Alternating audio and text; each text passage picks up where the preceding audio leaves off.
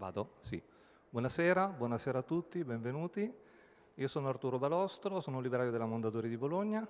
Vi rubo solo due minuti perché mi faceva piacere darvi il benvenuto, eh, però poi lascerò la presentazione a Roberta Parrella e soprattutto ne volevo approfittare per ringraziare Stefania Auci. Eh,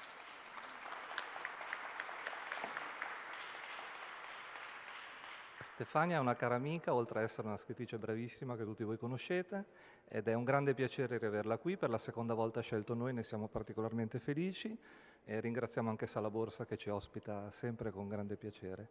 Io non vi rubo altro tempo, anche perché so che quello che racconta Stefania è sempre molto interessante. Non avrà me che, insomma, non le farò i soliti scherzetti che faccio durante le presentazioni, quindi è in buone mani stasera. Vi lascio alle, alla presentazione, buone parole a tutti.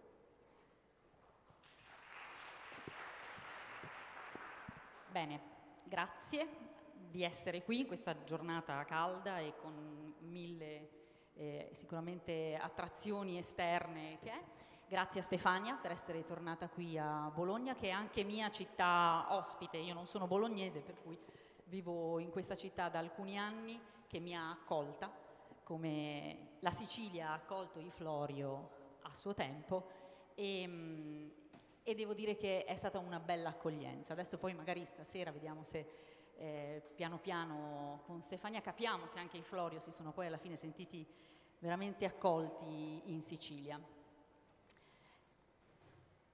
L'inverno dei leoni, questa cosa che per tanti, un paio di anni abbiamo eh, chiesto a Stefania quando faceva le presentazioni dei, dei precedenti, quando uscirà, quando uscirà. Adesso che l'avete in mano, Adesso non so quanti di voi l'hanno già letto, spero qualcuno, bene.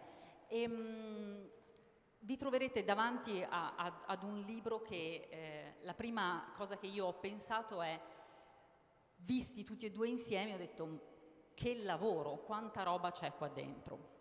Ma prima di arrivare a questo voglio una, una, una, fare un piccolo pezzettino di storia, che è il, come io ho conosciuto Stefania. Vi rubo pochissimo, pochissimo, tempo. Stefania, io e Stefania abbiamo una persona. Stasera ho deciso che la, la parola d'ordine sì, sarà persona. Eh, una persona in comune che mh, abbiamo conosciuto attraverso eh, il libro, tra le altre cose. La cosa che ci ha unito a noi tre sono i libri. E questa persona molti anni fa mi dice, ah guarda io questa carissima amica sta scrivendo una cosa, è bellissima, è bellissima, è bellissima.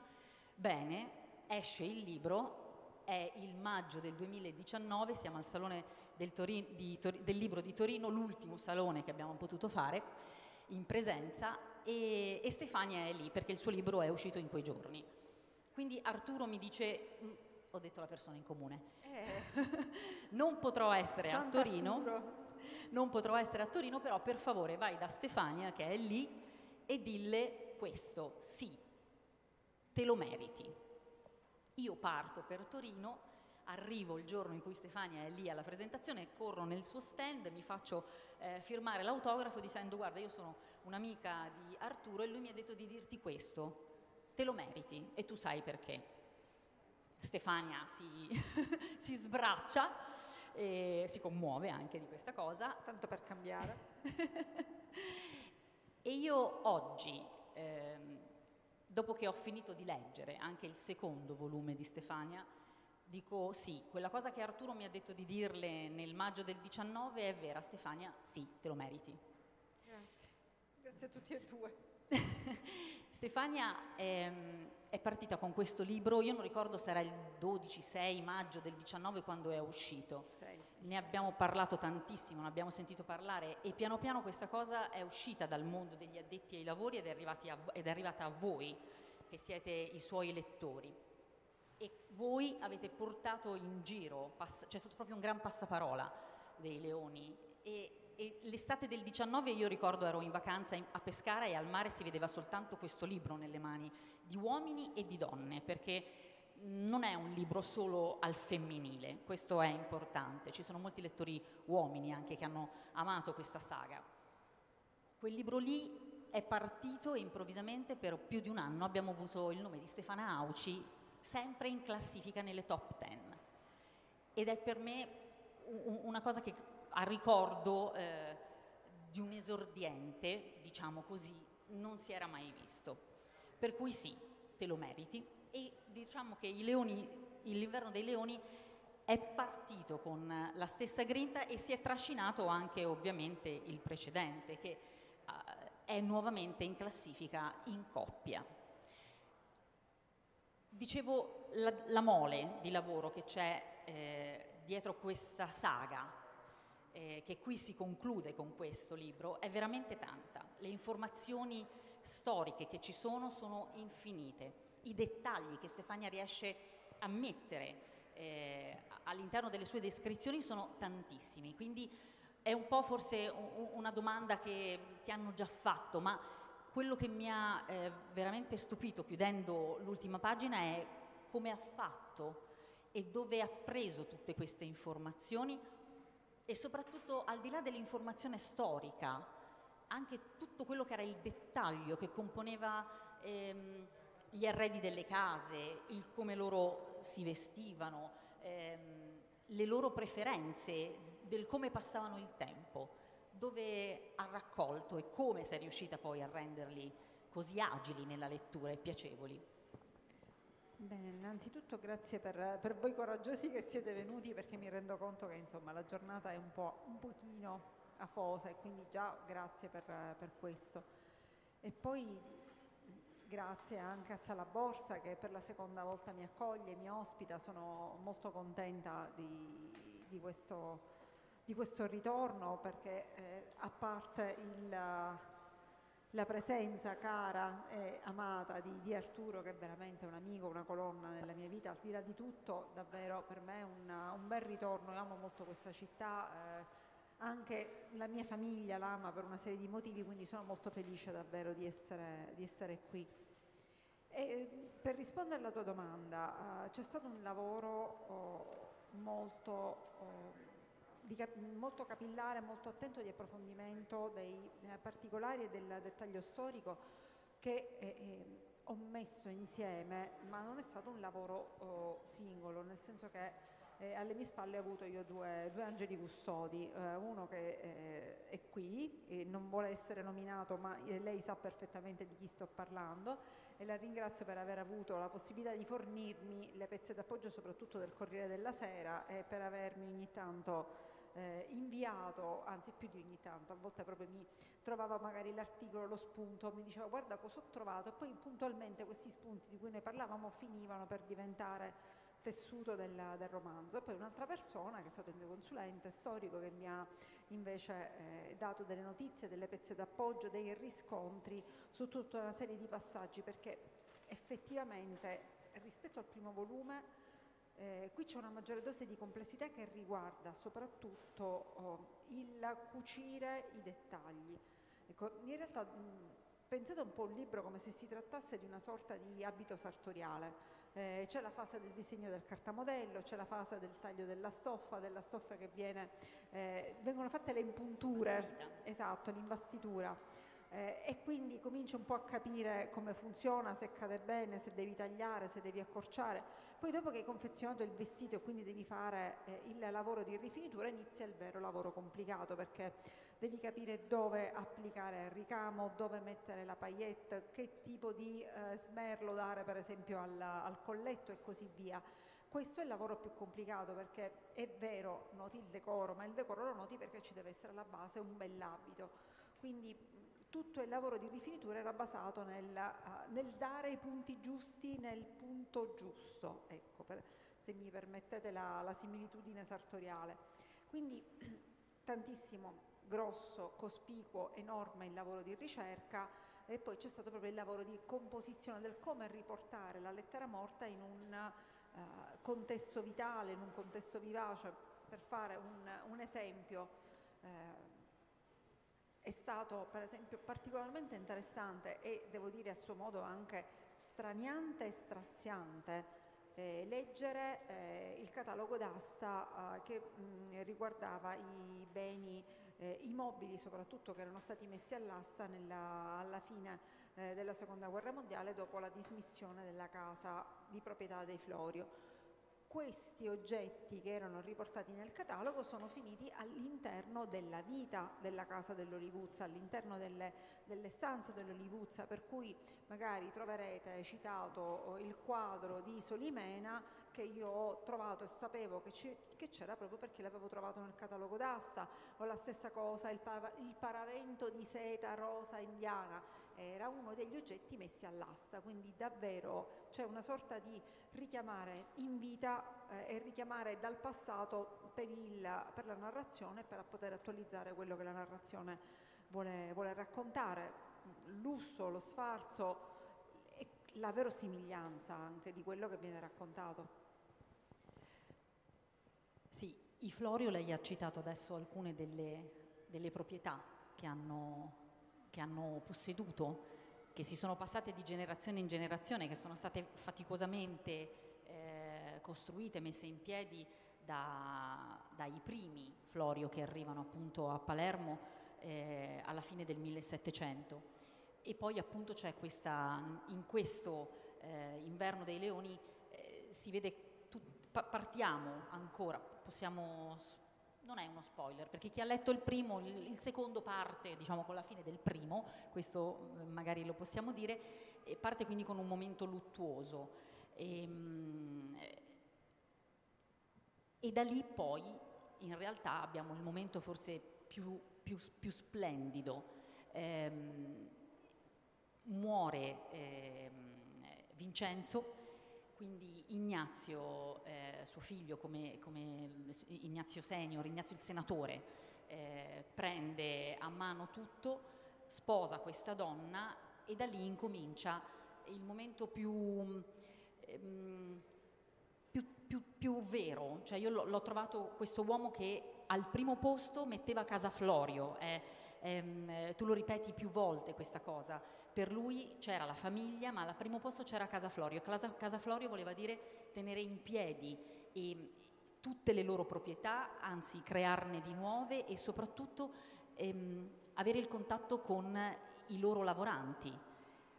Ecco, Ignazio mi ha ricordato un po' eh, Olivetti, queste figure di uomini, di grandi imprenditori che ehm, pensano sì alla loro in, impresa, ma pensano anche a chi lavora per loro, quindi cercano di dare eh, soddisfazioni, cercano di essere sempre presenti. Quindi c'è questa prima parte dove questa coppia, perché in fondo possiamo definirlo questo libro, eh, ci sono due coppie importanti, eh, Ignazio e Giovanna e poi Ignaziddu e Franca, che è Franca Florio.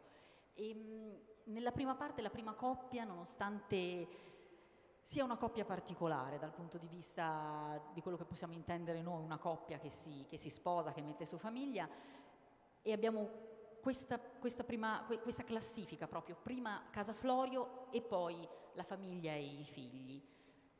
Poi però la vita è così, Ignazio muore e passa tutto ad Ignaziddu, che forse era ancora troppo giovane. Io devo farti una confessione. Io ho un personaggio che ho fatto fatica fino alla fine, proprio alla fine ho detto vabbè, ma a me Ignaziddu è un personaggio che Due, un paio di 5 a 55 ben assestati, sì lo so, me l'hanno detto in parecchi, ma l'effetto che volevo ottenere era quello, quindi vuol dire che è andata bene. Sì, perché mm, una cosa che tu hai detto, ehm, che ti ho sentito dire, è che ehm, questo è un romanzo, ci tieni a, a, è un romanzo storico, ma è un romanzo. E tu hai detto eh, in, una, in una tua precedente intervista che la fantasia aiuta proprio a rendere più vera quella che è la realtà. Per cui questi Florio che arrivano, che creano e che poi se vuoi distruggono anche, sono delle persone, come dici tu, che quindi hanno fatto ehm, eh, delle cose belle e anche eh, delle cose poco, poco belle. Quanto leggendo appunto i documenti storici tu hai ehm, eh, poi deciso di dare, perché tu sei entrata, cioè quello che noi leggiamo qui sono i pensieri di questi personaggi, che sono pensieri di, di Stefania. Come Stefania ha fatto questo lavoro eh, di, di, di, entrare per poter far dire sì, Ignazio alla fine sì, era, era così, e, era sempre colpa degli altri. Forse questo è il, il vero lavoro che poi alla fine ti fa andare avanti quando scrivi, cioè la possibilità di entrare sia pure in punta di piedi nella vita degli altri. Eh, questo però presuppone da parte di chi scrive un, eh, un enorme rispetto perché tu comunque non sei loro, uh, tu sei una persona differente che vive in un tempo diverso, che ha una serie di eh, eventi della tua vita che ti caratterizzano in maniera differente e soprattutto non hai né quelle responsabilità né quel tipo di ricchezza né tantomeno hai la possibilità di poter eh, intuire fino in fondo cosa significa dover gestire un simile tipo di eh, carico. Per cui il lavoro che mi è arrivato, il lavoro che ho portato avanti è stato soprattutto quello di eh, immaginare eh, che cosa potesse essere cosa potesse significare vivere con un simile carico di esperienza. E se per eh, il senatore questo dopo un po' di difficoltà alla fine poi è scattato qualcosa per cui sono riuscita a capirlo fino in fondo, per Ignazio è stato un lavoro quasi di um, scoperta eh, più che di um, aggiunzione. Eh, scoprire progressivamente che tipo di eh, vissuto aveva questa persona, del come aveva approcciato e vissuto anche la, l'amarezza del trasformarsi in una personalità uh, prima invidiata e poi invece compatita se non addirittura osteggiata. Quindi il lavoro uh, sulle persone è stato proprio quello di intuire attraverso gli atti, attraverso la corrispondenza, attraverso delle testimonianze dell'epoca come loro potessero, non soltanto come potessero comportarsi, ma che cosa c'era alla base di questo tipo di comportamento. Alla fine il comportamento è sempre la spia di una scelta, di un'azione, di una decisione, quindi capire e fare un lavoro, una sorta di ricostruzione a ritroso per riuscire a individuare i tratti salienti del carattere dei singoli. E devo dire che davvero il, il lavoro che ho portato avanti è stato capillare, è stato attento, ma è stato anche un lavoro di grande... Eh, di grande eh, passo indietro, nel senso che non, per me era importante cancellare la mia voce per dare il più possibile lo spazio a queste personalità per potersi esprimere, per poter essere effettivamente e realmente le eh, persone che eh, descrivevo. Non interessava, non, non era per me fondamentale raccontare attraverso la loro voce la mia storia. La mia storia è qualcosa che appartiene a me. Interessava che loro avessero la possibilità di riparlare in una determinata maniera di quello che si verificava. A questo punto la cosa fondante diventava restituire questa voce in termini di verosimiglianza e quindi ancora una volta un lavoro di studio del modo in cui potevano esprimersi, eh, del tipo di emotività che portavano avanti, se da una parte per esempio il senatore è estremamente controllato, estremamente quasi freddo, quasi glaciale, dall'altra parte invece il figlio è proprio preda delle sue passioni e quindi fare una differenza che sembra stridente proprio perché c'è questa successione immediata, quasi, anzi non togliamo il quasi, proprio una successione repentina, ma era proprio una differenza caratteriale dettata, come hai detto tu stessa, dal fatto che anche lo stesso giovane Ignazio oh, diventa, diventa proprietario di questo patrimonio a 21 anni e probabilmente non aveva fatto né esperienza umana né esperienza professionale per poter gestire con lungimiranza un, un simile quantitativo di soldi. Eh, per lui questi soldi a disposizione significava posso fare quello che voglio, per il padre, che invece a sua volta era diventato erede ma a 30 anni, quindi aveva affiancato il padre nel lavoro, a sua volta si era reso conto di quello che trattava, per lui questi soldi significavano garanzia di sicurezza per la casa commerciale, quindi questa è già una prima differenza. E altre differenze molto marcate poi ci sono nel, nel vissuto personale, eh, nel vissuto familiare, però gli uomini e le donne Florio.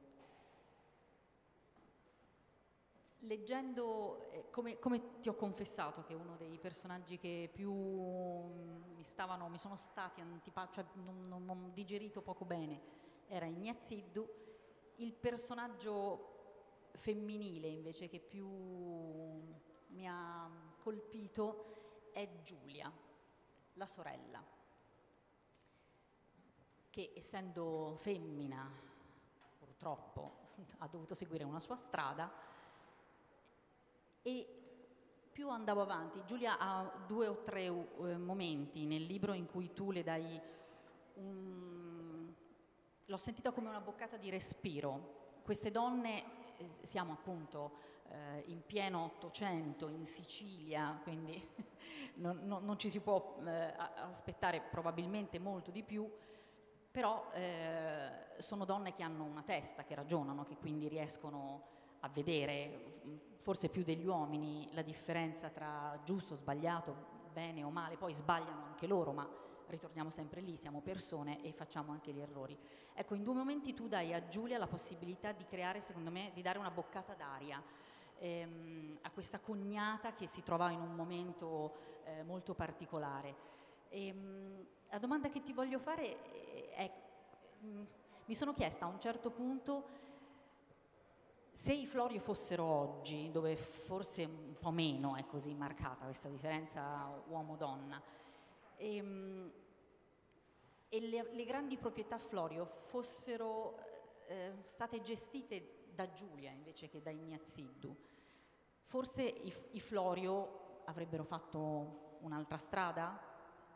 Assolutamente, io di questo ne sono stata sempre molto convinta perché eh, questa figura, questa donna straordinaria mh, emerge con eh, una certa forza anche eh, dalle pagine di un, di un, altro libro che è stato scritto praticamente da una delle discendenti eh, che è appunto una delle ultime eh, appartenenti anche se con cognome differente alla casa dei Lanza di Trabia a cui Giulia apparteneva. Per eh, chiarire rapidamente faccio un attimo un piccolo resume dei figli giusto per eh, Ignazio sposa Giovanna Dondes, eh, questa mh, mm, coppia ha quattro figli, Vincenzo, Ignazio, Giulia e un altro Vincenzo. Il, l'ultimo Vincenzo nasce eh, parecchi anni dopo e viene chiamato così a sua volta Vincenzo perché il primogenito muore a 12 anni e quindi di fatto i figli rimangono tre. Giulia ha 15 anni, eh, quindi Giulia è il nome della nonna, eh, viene eh, fatta sposare a un nobile, un antico oh, appartenente a una, a una, famiglia nobiliare di grandissima importanza in Sicilia, che sono appunto Lanza di Trabia. Lo sposo 27 anni, lei eh, praticamente 15, che è anche un grande divario di età. E il matrimonio avviene per uno scopo ben preciso, perché i Lanza di Trabia, che pure sono nobili, antichi, aristocratici, fantasmagorici, stupendi e meravigliosi, però eh, hanno necessità di rimpinguare le casse, quindi si piegano un matrimonio borghese con una ragazza che viene di fatto istruita a diventare principessa Lanza di Trabia nei due anni precedenti il matrimonio, quindi dai 13 anni ai 15 anni lei vive questa sorta di tirocinio per entrare nell'aristocrazia e per diventare principessa. Impara le lingue straniere, impara latino, il greco, anche perché no, raffina moltissimo le sue, le sue maniere e soprattutto viene data uh, in sposa con, da parte del padre e della madre con una dote molto molto ricca. Con questa dote e con un vincolo particolare che viene posto a questa dote, Giulia può permettersi di entrare a testa sfacciatamente alta a casa Lanza di Trabia. Questo cosa significa? Significa che in pratica i Lanza ricostruiscono il patrimonio, però ricostruiscono facendo in modo tale che questi beni vengano intestati anche a Giulia. Quindi lei ha anche una proprietà immobiliare che rimane proprio per sé, ha una sua ricchezza, riesce a tutelare il suo stesso patrimonio. E se da una parte eh, la suocera soprattutto, che veniva considerata un po' una lingua biforcuda, non fa altro che rimarcare questo, questo atteggiamento, rimarcare il fatto che lei era stata costretta ad ammettere una borghese in famiglia, dall'altra parte permette a Giulia di sviluppare una, uh, un carattere estremamente coriaceo. Così a nota di colore, a nota di, di fatto, si può raccontare addirittura che eh, uno del, dei primi pranzi che fu fatto in, in famiglia da parte dell'Anza di Trabia, la suocera stizzita per la presenza di questa ragazza di origine borghese addirittura uh, aveva dichiarato che si avrebbe preferito mina- suicidarsi piuttosto che vederla a tavola, piuttosto che sapere che c'era una borghese alla sua tavola e che era stata costretta per il bene della famiglia. Anche questa ragazzina, perché alla fine aveva 15-16 anni quando avviene questo evento, si rivolge ai camerieri dicendo cortesemente aprite le finestre perché mia suocera desidera suicidarsi e non voglio che si rompano i vetri. Cioè, questo è un fatto che venne raccontato che fece un po' il giro di tutti i salotti di Palermo, ma per fare capire il tipo di, anche di eh, autostima e di forza che aveva eh, Giulia Lanza di Trabia. E sicuramente se, se noi andiamo poi a cercare, alla fine ci sono anche delle donne che fanno parte di consigli di amministrazione e che sono figlie di eh, amministratori più o meno felici. Ce n'è, ce n'è, qualcuno a Milano, voglio dire, che sì, è tutto oggi, addirittura questo, che, questa è una cosa che mi fa anzi quasi arrabbiare, che un po' mi, mi colpisce, che su certi giornali esca il fatto ma lei è l'amministratrice, sì, lei è l'amministratrice non soltanto perché eh, porta questo cognome, ma perché ha dimostrato, a differenza dei fratelli, di essere molto più attenta, più abile, più lungimirante, più capace negli affari rispetto a quanto abbiano oh, dimostrato i fratelli stessi e senza essere neanche una donna di particolare fascino, voglio dire. Quindi Giulia per me è stata una, un, forse veramente la, la, la figura che ho sentito più vicina dal punto di vista proprio della temporalità. Perché se è vero che Giovanna Dondes è fortemente una donna del suo tempo, quindi anche schiacciata in determinati meccanismi mentali che riguardano, sai, secondo me non solo la Sicilia, ma più che altro proprio quel periodo storico, quel modo di essere della donna declinato all'interno di una classe sociale qual era quello dell'aristocrazia dell'Ottocento.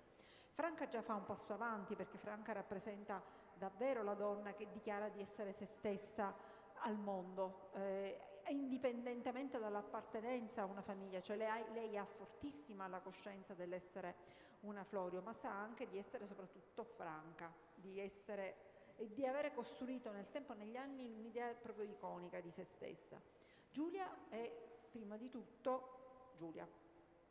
E lo è da subito, lei è anche una lanza di Trabia e ha a cuore e tutela gli interessi della famiglia, però lei, noi la conosciamo e la vediamo come una figura che riesce a ritagliarsi anche a livello sociale una sua autonomia rispetto alla, al marito. Il marito del marito di Pietro Lanza di Trabia alla fine si sa poco, sappiamo che era senatore del regno, sappiamo che era comunque una figura molto...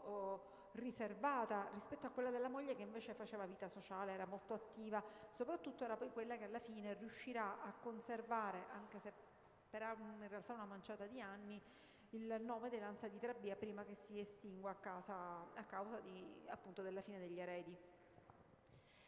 Io non l'ho detto, ma ovviamente se avete delle domande, mi piacerebbe che venissero fuori, perché adesso qualcuno ha alzato la mano e ha detto che appunto ha già letto anche il secondo, ma eh, non sentitevi, c'è, un po' di distanza, dobbiamo usare le mascherine, ma mh, eh, ci piacerebbe anche eh, se, se, se, arrivano domande dal pubblico. E, mh, nel frattempo che loro pensano, ehm, c'è una persona che ti conosce, che è qui a Bologna, ma che oggi non è potuta essere qui, però mi ha detto, ma se vedi Stefania, falle questa domanda. A un certo punto tu, e ne, guarda, e metto due pezzettini, dentro c'è anche un pezzettino mio. E, ehm, un certo all'inizio ho detto è un, è un è un romanzo storico dove dentro ci sono tantissime informazioni e tu ci hai spiegato come le hai eh, raccolte, ma eh, io ho apprezzato moltissimo anche al di là appunto, ripeto, del dato storico di tutto quello che tu ci hai raccontato, cioè nella descrizione dei pavimenti, la stanza di Franca eh, è, è, come averla vista. Poi sono andata a cercarmela su internet, ma in effetti la descrizione che dai è, è, era vederla.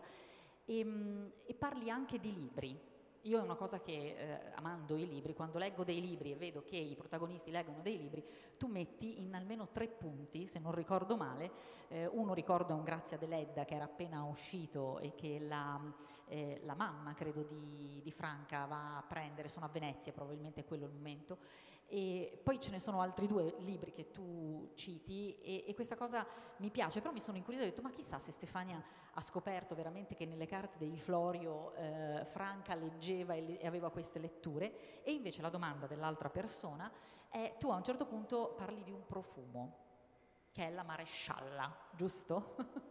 Questo profumo che io ho conosciuto grazie ad un amico che è comune, che mi ha fatto provare e devo dire che lo trovo un, un profumo molto forte e leggendolo qui ho detto sì, questo probabilmente ricordandomi la Roma era un profumo da Franca Florio.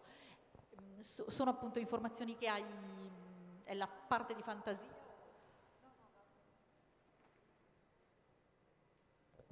Ok, mi sentite? Sì. Proprio, parto proprio dalla, dal profumo perché eh, la marescialla l'ho sentito pure io, abbiamo parlato con questa persona che immagino eh, sia la stessa, eh, del fatto che peraltro la marescialla è anche una citazione letteraria perché è il profumo che usa Angelica nel Gattopardo ed è eh, di una anti- eh, antica farmacia Cia, eh, di Santa, Maria, Santa Maria Novella.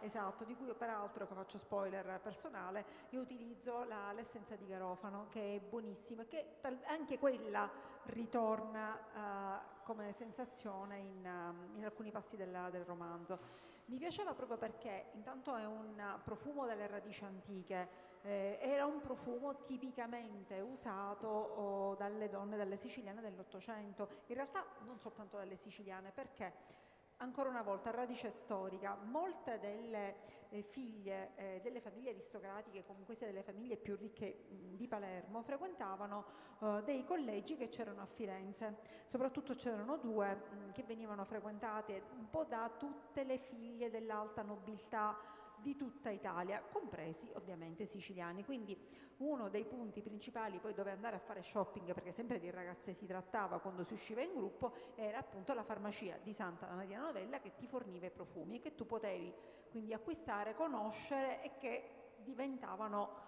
un, una sorta di marchio di fabbrica, diventavano qualcosa di eh, fortemente rappresentativo per chi le utilizzava. Da qui questa scelta che ci stava Franca non frequenta questo tipo di collegi, Franca viene eh, allevata, viene fatta studiare a casa, le cugine però che vengono oh, presentate soprattutto nella scena del matrimonio invece studiano in, in questo collegio che eh, tutt'oggi è un collegio, ora è misto, è, ehm, ragazzi e ragazze, ma all'epoca era un, un, collegio femminile con un grande giardino, un collegio storico, peraltro veramente di grandissimo, di grandissimo livello.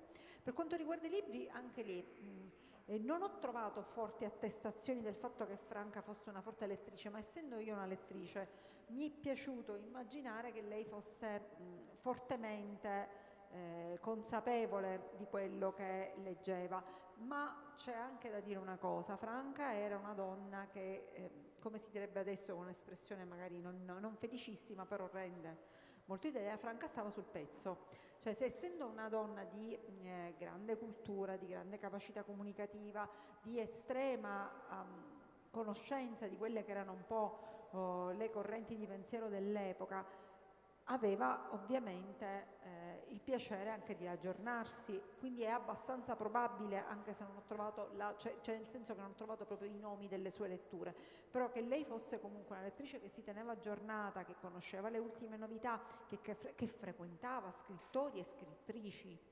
Ecco, questo davvero mi fa deporre all'idea della, del, di lei che acquistava le ultime novità, che riceveva le copie autografate, e lo stesso dicasi per esempio per, per le figlie, c'è eh, un passo in cui una delle figlie legge un libro di Virginia Woolf.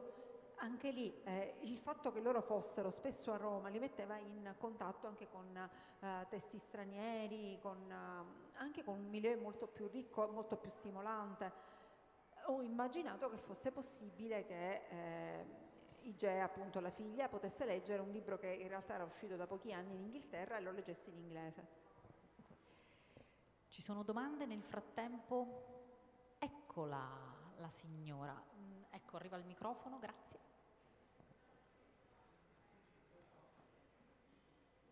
Ora io le chiedo.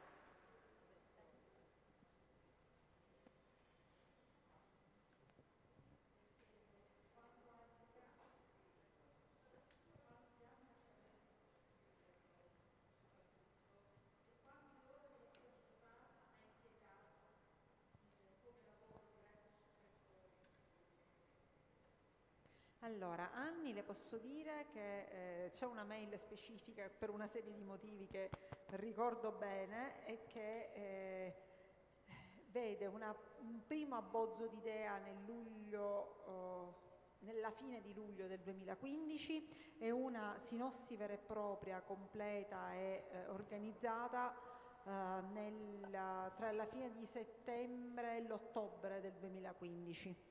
Quindi stiamo parlando di sei anni fa pieni. Eh, ci sono stata quindi sei anni, eh, anzi cinque e mezzo in realtà, eh, le ore dipendevano in realtà molto dai momenti e molto dalle, dalle, situazioni, perché di solito io scrivo la mattina presto un paio d'ore eh, prima di andare a scuola.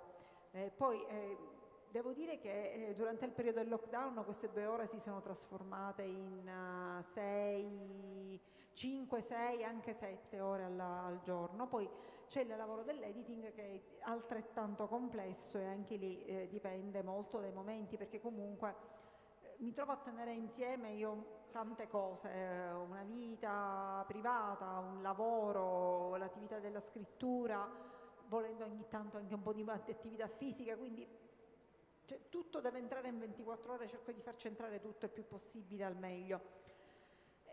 Ora, uh, per esempio, con la scuola sono, ho fatto la scelta di andare un po' in part-time, ma più che altro per avere non solo e non tanto tempo per la scrittura, ma anche per riuscire un attimo a tirare il fiato e non dimenticare che so la pasta sul fuoco o il figlio da andare a prendere, perché è successo, tutte e due cose sono successe. Però davvero, cioè, io non riesco a immaginare eh, una vita senza scrittura, questo ci tengo a dirle. Il giorno che mi succederà di mettermi davanti al computer e di non uh, avere piacere nella scrittura, eh, la persona di cui sopra è, aff- è aff- avvisata, cioè io prendo e attacco e, e smetto, però finora insomma il piacere misto anche a una altissima, elevatissima quota di insoddisfazione perché non sempre le cose vengono subito come voglio io, ecco quello c'è sempre eh, e qua anche lì un rimando, quel racconto ancora non è pronto. Eh, e c'è più insoddisfazione che felicità, però arriva.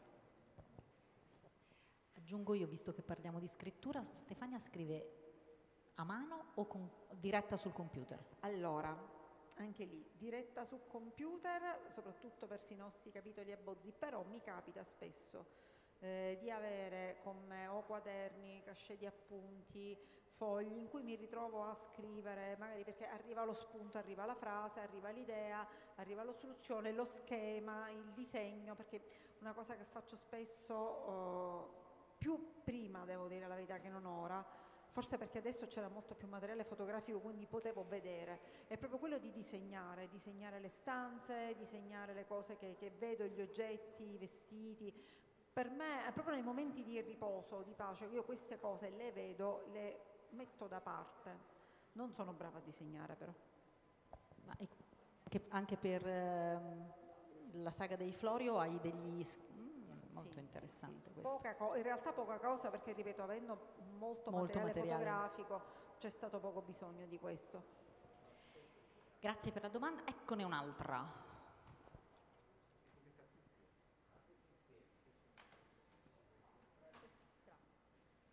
Buonasera, allora anzitutto volevo ringraziarla moltissimo per quello che è stato il primo libro che lei ha scritto, perché è stata sicuramente un'opera che per quanto mi riguarda è stata travolgente. Grande scrittura, romanzo veramente ricco, intenso, per cui grazie, perché effettivamente non è scontato. Volevo chiedere come è cambiata la sua vita, al di là dell'aspetto pratico, e quindi del fatto che ha meno tempo, volevo capire se si aspettava un successo così travolgente perché se era già in cantiere il secondo libro quando ha scritto il primo e se è in cantiere un terzo libro. Io non ho ancora letto il secondo, per cui volevo un pochino capire se ci sarà anche un seguito. Grazie. E allora, inizio dalla fine, come al solito, non ci sarà un terzo, perché posso.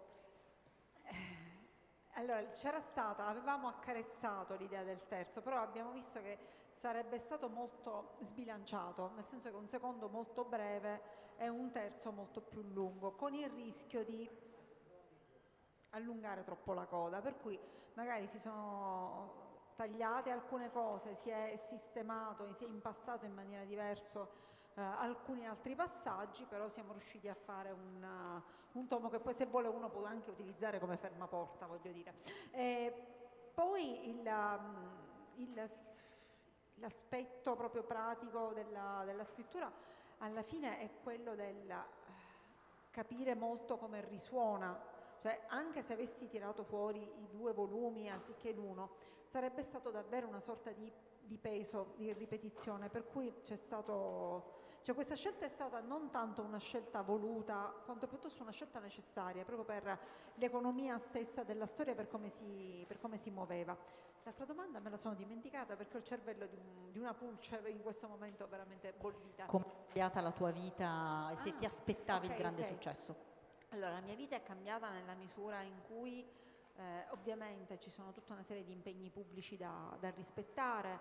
Eh, talvolta la vita privata un po' ne risente, nel senso che magari devo ritagliare eh, degli spazi per, uh, per, quelle che sono le attività, che sono attività collaterali necessarie nel momento in cui tu pubblichi un libro e devi fare la promozione. Il successo poi io uh, no, nel senso che eh, nessuno quando fa qualcosa si può immaginare quello che succede.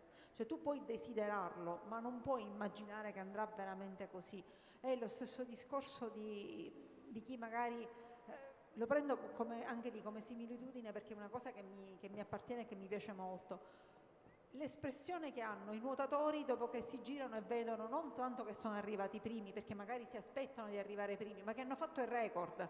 E allora tu vedi queste facce sconvolte di questi ragazzi che guardano il timer e dicono, cioè chi io, ecco, la sensazione è proprio questa, è la sensazione del chi io. Ed è una sensazione bellissima.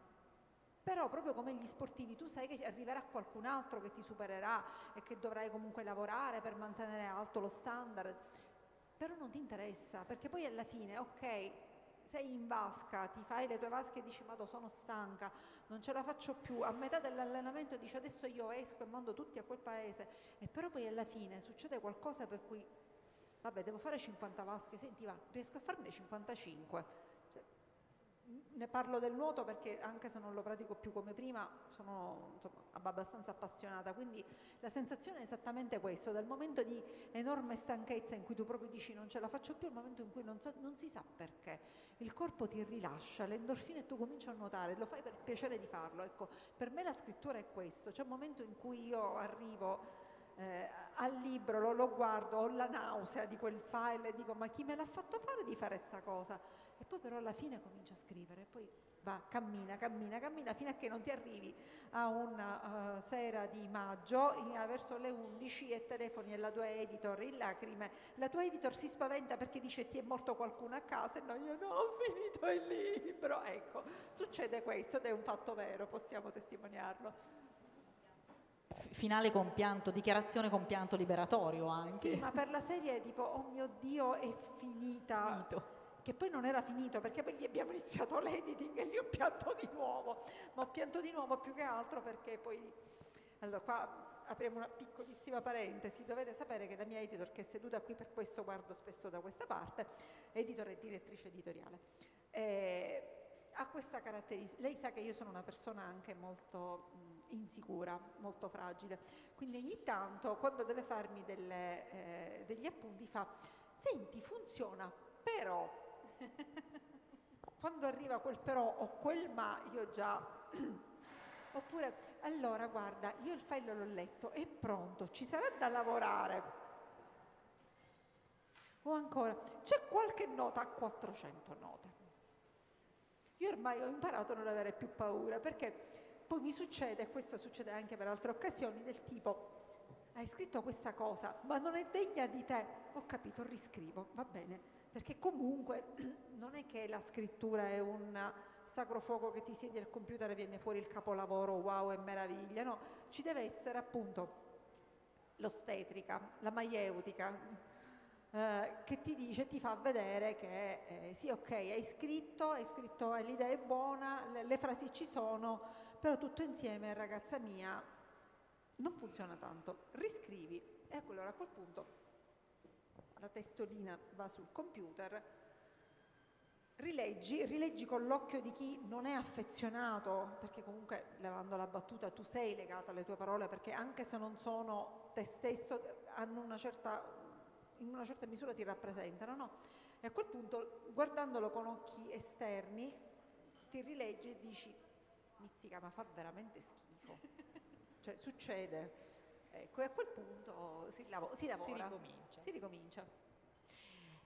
Dicevi prima appunto sei anni insieme ai Florio, eh, ti ho sentito dire in altre situazioni che eh, ti sei sentita un po' come adottata o comunque tu hai adottato questa enorme famiglia, perché noi qui adesso abbiamo menzionato 4-5 personaggi, ma i, i, il libro è ricco, trasuda di, di, di cugini, parenti, amici, amiche, eh, amanti, un'infinità. E, quando ti ho sentito appunto dire che li hai sentiti un po', te li sei un po' adottati per sei anni, ho detto ma chissà se ogni tanto Stefania ti è capitato mai di chiamare magari qualcuno Ignaziddu invece che... No, no, questo no, grazie a Dio no, perché penso che a quel punto veramente... Con gli, con la stanza alla Neuro era proprio lì lì, che, cioè con i fiori, apparecchiata col tavolo, il pezzo d'antiquariato secondo me e ci eravamo pronti. No, sono riuscita a non, a separare, non fare questo. Diciamo. Però ogni tanto avevo la sensazione di avere qualcuno di loro dietro che mi faceva così, così non no.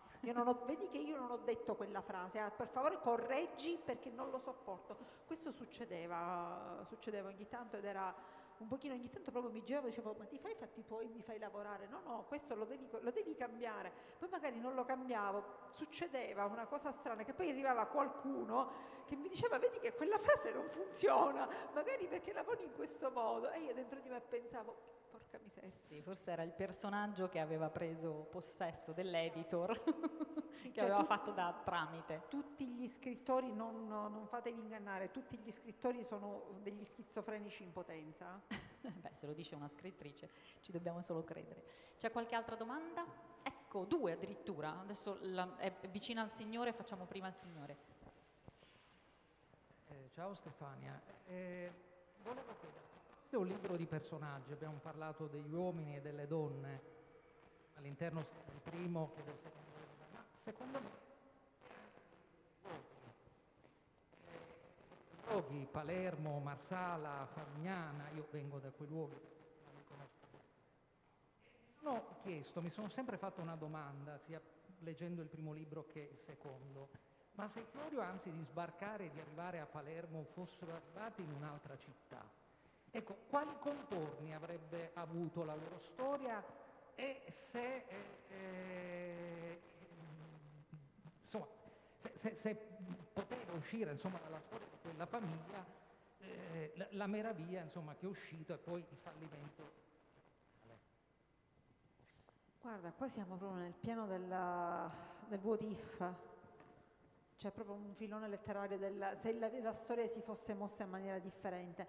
Non lo so, probabilmente avrebbe avuto delle pieghe differenti, magari avrebbero avuto successo ma magari non con le spezie, eh, avrebbero avuto un altro tipo di, di relazione personale, magari ci sarebbero stati altri modi di arricchirsi, ci sarebbe stato anche un altro tipo di capacità eh, di, mh, relazionale, imprenditoriale. eh, davvero questo non può saperlo nessuno. Penso con certezza che eh, avrebbero sicuramente continuato a, a commerciare e ad avere una, una ricerca spasmodica nei confronti eh, della- non soltanto del semplice arricchimento fine a se stesso, ma del riconoscimento sociale, che secondo me rappresenta la cifra dominante eh, del- delle prime generazioni fino, appunto, fino al senatore.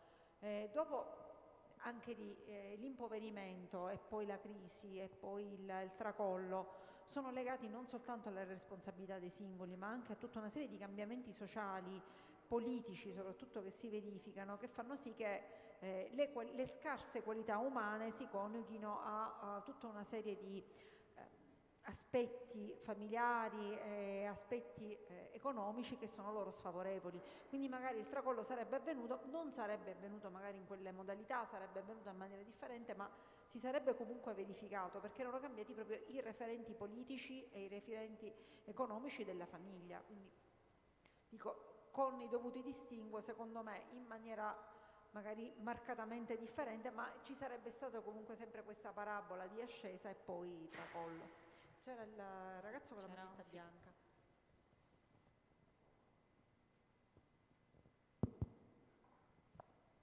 Eh, io volevo intanto ringraziarla perché ho letto sia il primo che il secondo ed essendo di Palermo mi ha fatto diciamo, conoscere tantissime cose sulla mia città che non conoscevo, quindi intanto la volevo ringraziare. Eh, e poi avevo tre domande. La prima perché ha scelto proprio Florio, cioè se c'è un motivo eh, se lo può dire.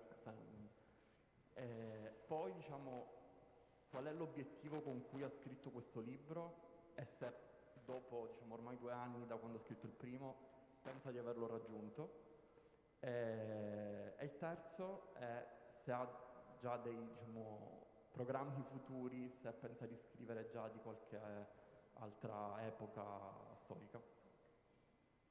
Allora, la prima domanda, eh, sicuramente eh, avevo in testa anche un'altra famiglia, però oh, devo dire che eh, la cosa che mi ha colpito dei Florio, per cui alla fine mi ha spinto a, a, a scrivere eh, di loro, è stato il fatto che da palermitano lo sai, tutti parliamo di Franca, della Targa, del vino, cioè, c'è un certo tipo di immaginario che sembra quasi congelato in delle fotografie in delle fotografie in cui dominante è il concetto di estrema ricchezza. La domanda che mi sono fatta io da dove veniva questa ricchezza e andando a ritroso e risalendo mi sono trovata ad avere a che fare con delle figure straordinarie, cioè il fatto stesso di essere degli immigrati che dalla Calabria vengono a Palermo per trovare la ricchezza, cioè se uno ci pensa è davvero strano, è davvero forte come concetto.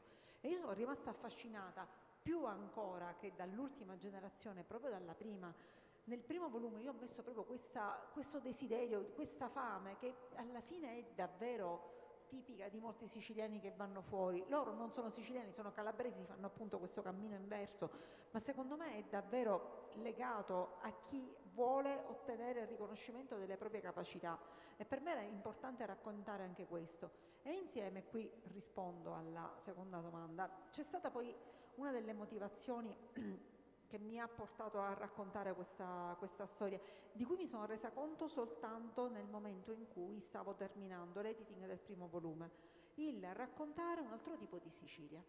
Perché eh, seppure oggi noi parliamo di una Sicilia differente, che non è più quella legata all'immaginario della piovra, di Palermo-Milano sono andata, dei delitti di mafia, uh, di Tony Sperandeo, che è un attore palermitano che ti dice la solita battuta passamo fierro, che sarebbe passami la pistola.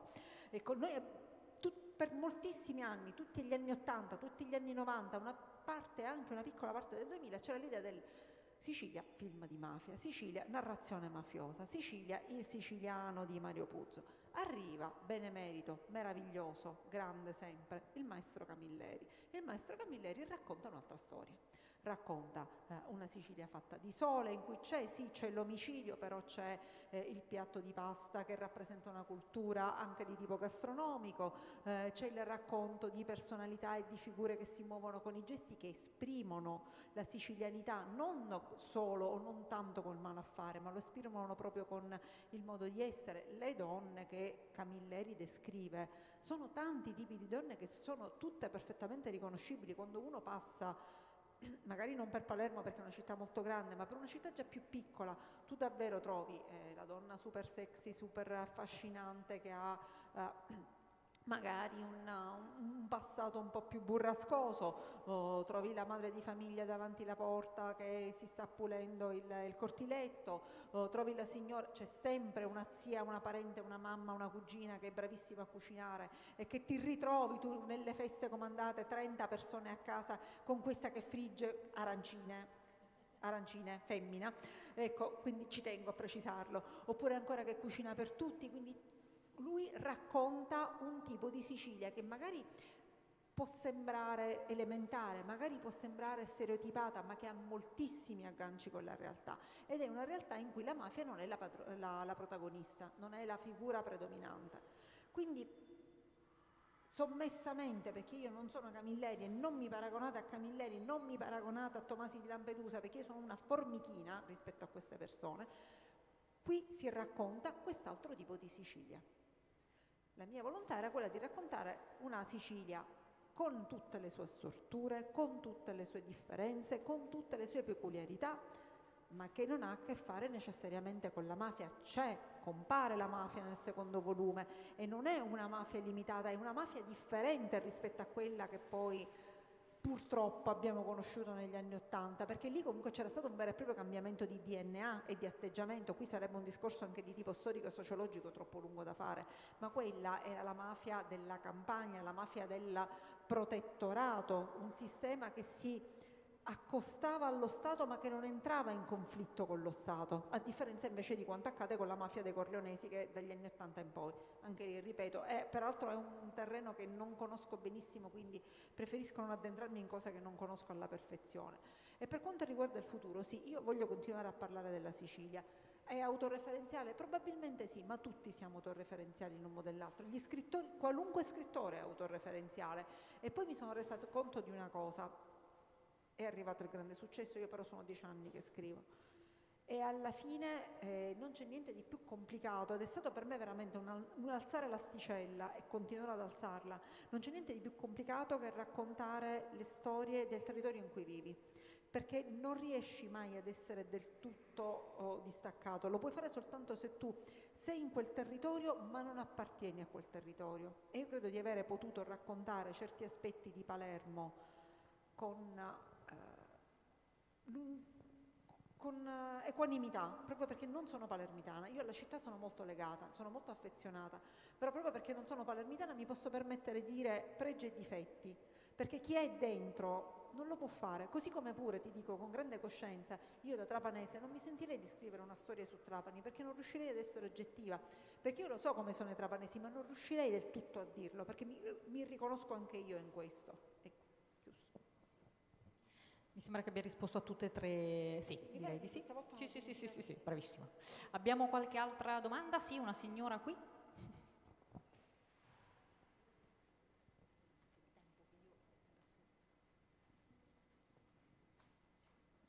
Buonasera, eh, volevo chiederle a quale figura femminile dei Florio si sente più vicina, anche caratterialmente?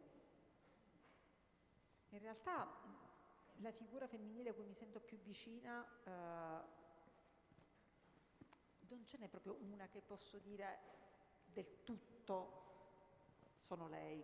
Mm, ci sono molti aspetti di me che eh, ritrovo in Giulia Portalupi, non tutti, perché lei ha una pazienza da santa, io oh, sono molto paziente, ma quando la pazienza raggiunge il limite, con me proprio c'è la lapide tombale sì, sì, sì, di quelle da 10 tonnellate, no? E in generale penso che di essere più vicine ai personaggi maschili che non a quelli femminili, in realtà eh, forse proprio perché faccio più fatica ad entrare nella testa di un uomo che sono quelli che mi sento maggiormente, perché sono quelli su cui lavoro di più. Se abbiamo un'altra domanda, se no, allora mh, mm, chiedo anche ad Arturo, sì, io farei proprio giusta la conclusione. Non abbiamo, mh, mm, mm, cioè, non abbiamo parlato, insomma, un altro dei, dei, dei temi che tu ehm, racconti, perché i Florio appunto sono eh, sono stati lavoro, sono stati nuove imprese, sono stati anche ehm, coloro che hanno finanziato il, eh, per esempio la costruzione del Teatro Massimo di Palermo, ehm, hanno fatto cultura e la parte in cui tu ehm, nel secondo eh, romanzo eh, racconti di questi Puccini, D'Annunzio, Laduse che freca- frequentano eh, le case dei Florio sono un'altra boccata d'aria, per me sono, stata, sono stati questo. Mm, eh, mi è piaciuto moltissimo il punto in cui tu eh, narri, riporti di questa cena eh, dopo, dopo, spettacolo eh, a, casa, a, casa, dei Florio con la Duse e D'Annunzio che ehm, molto apprezza la bellezza di Franca Florio, c'è questo eh, Ignazio molto stizzito da questa, molto geloso lui che... Mh? E le parole che fai dire alla Duse... Le ho trovate anche quelle un, alt- un po' come quelle di Giulia. Eh, io ho, ho, scritto, è la seco- è la seco- quando, quando, Giulia c'è questa confessione, non faccio spoiler, però eh, quando c'è questo momento, appunto, come dicevo prima, di boccata d'aria tra Giulia e Franca, Per me lì ho scritto Nasce Franca Florio. Quello è il momento, quello scambio tra eh, cognate, è il momento in cui Franca capisce che direzione deve prendere, cioè deve mh, trovare la sua dimensione. Quando c'è quella cena con la Duse che dice quelle parole, che poi vi, vi, vi, vi lascio ehm, andare a cercare, ho pensato, ecco, questa è la seconda, o è l'affermazione, la conferma della, di, di, quello che deve essere Franca, cioè questa autonomia, questo bastarti a te stessa, ehm, non essere necessariamente il, la, il bell'oggetto che il marito eh, famoso, importante deve portare, deve portare in giro. E questa ehm, ehm affermazione della persona, ehm, ripeto, tenendo conto che fino all'ultima riga proprio Ignazidum stava qua, ehm, che poi per natura cioè è l'ultimo dei Florio che sopravvive, cioè muoiono praticamente tutti, ma lui c'è e, e quando c'è questa scena finale, che mh, andate a vederla, dove confesso, io pianto due volte in questo libro, quella è una delle due, e, mh, ho capito che in fondo forse Ignaziddu aveva proprio bisogno di quello, non ha mai capito chi era, cioè, mi ha dato questa impressione.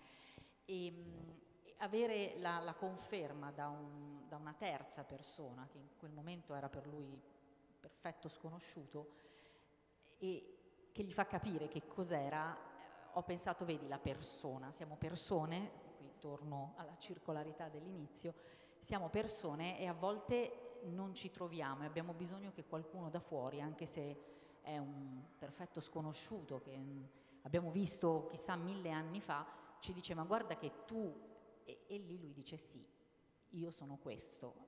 L'ha capito tardi probabilmente, però... Però almeno l'ha capito. Sì. No, io una, una, parola la voglio spendere proprio su questa, sulla scrittura di questa scena che è stata per me una delle prove più complicate perché eh, intanto dal punto di vista tecnico, descrivere e fare eh, agire sulla scena così tanti personaggi che dialogano tra di loro cercando di non, dire, di non fare confondere il lettore, perché il lettore deve sempre avere ben chiaro chi dice cosa.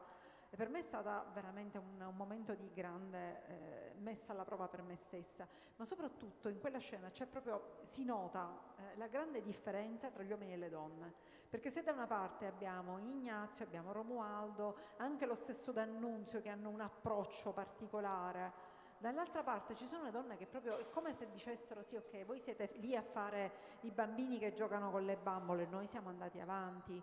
Eh, la stessa Duse che eh, un certo tipo di racconto ha raccontato, ha parlato di lei come una donna persa per D'Annunzio, credetemi era perfettamente al contrario, c'era lei che era molto più forte, era molto più caparbia, più attenta rispetto a lui. Giulia Trigona che poi farà magari una fine, eh, la fine purtroppo che farà, però Giulia Trigona è un'altra che è comunque molto protagonista della sua vita, del suo tempo, della sua storia. E Franca, Franca stessa, si rende conto che eh, fondamentale, dice comunque se noi dobbiamo mantenere in piedi un legame e questo legame deve avere una forma, non deve assolutamente prescindere dal rispetto che tu mi devi nei miei riguardi. Quindi laddove tu comunque decida di eh, avere le tue relazioni, decida di fare una vita che sia separata, comunque non mancarmi di rispetto, perché io ho il diritto ad avere il rispetto in quanto persona. E questo lo può dire solamente perché c'è stata alla base questa famosa chiacchierata con la cognata. E, e sono le donne di questo libro, sì, ci tengo a dirlo, sono tutte donne che sono più avanti, sono donne del loro tempo, ma proprio perché sono donne del loro tempo sanno perfettamente quali sono gli strumenti e cosa possono e cosa non possono fare e quindi sono molto più lucide degli uomini che pensano di avere a disposizione tutta la vita e tutto il tempo, salvo che poi si ritrovano appunto gli uomini con un pugno di mosche. È vero, è vero. Da quel punto di vista le, i personaggi femminili sono molto attuali. Io ho, ho, rivisto in alcuni passaggi di queste donne molte persone che conosco, di, di, di amiche, parenti anche, eh, donne che si ritrovano in questi uh, amori persi. Questi, è, è, molto attuale, sì, devo dire che nonostante siamo un centinaio di anni indietro, sì. Basta, direi che lascio Stefania a voi che adesso andrà nel, nel tavolo qui di fianco per il firmacopie, la ringrazio. E... Grazie a voi, ah. grazie a te cara. grazie. Grazie.